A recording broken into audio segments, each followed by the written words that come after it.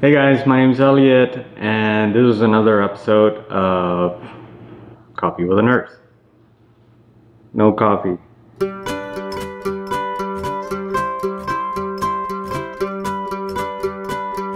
In this study by the University of Athens, they found that olive oil reduces the risk of erectile dysfunction by up to 40%. And that's a pretty significant number. So according to this, the researchers noted that olive oil heavy diet created healthier blood vessels in men, which supports better circulation, including during sex.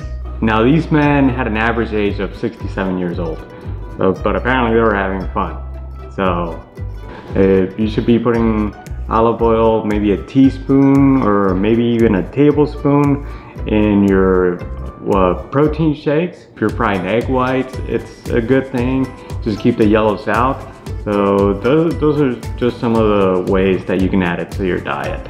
So in the meantime, have fun, plenty of olive oil, and we'll see you next time. Where's my coffee?